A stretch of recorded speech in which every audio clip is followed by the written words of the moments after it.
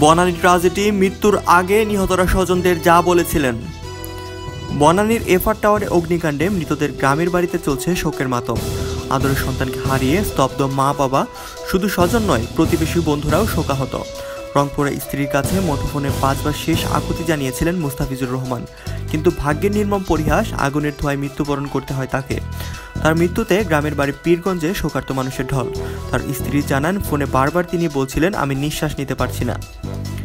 দিনাজপুর শহরের বালোয়াভাঙ্গার আবদুল্লাল মামুন চাকরির কারণে স্ত্রী ও দুই শিশুকন্যা তানহা ও তানিয়াকে নিয়ে বাস করতেন ঢাকায়। কাজ করতেন হেরিটেজ এয়ারলাইন্স নামে একটি ট্রাভেল এজেন্সিতে। ঘটনার সময় আগুন থেকে বাঁচতে জানালা দিয়ে বের হওয়ার চেষ্টায় তিনি ব্যর্থ হন। নিচে পড়ে মৃত্যু হয় তার। এই সংবাদে মামুনের বাড়িতে শোকে স্তব্ধ মা ও স্বজনেরা। এফআর টাওয়ারে আগুনে নিহতদের আরেকজন কুষ্টিয়ার ইকতার হোসেন মিঠো। এগারো তলার একটি অফিসে কর্মরত ছিলেন তিনি।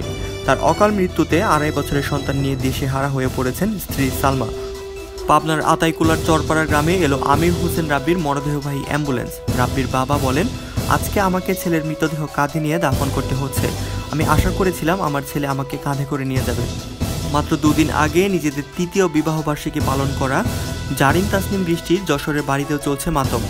সবশেষ গত ঈদে বাড়িতে বাবা মার সঙ্গে সময় কাটিয়েছিলেন তিনি। আগুনে পুড়ে মরা থেকে বাঁচতে লাফিয়ে পড়েন মাকসুদুর রহমান জামি শেষ রক্ষা হয়নি। ওদিকে ভবনের ভেতরেই প্রচণ্ড ধোঁয়ায় শ্বাসরুদ্ধ হয়ে মৃত্যু হয় তার স্ত্রী রুমকির।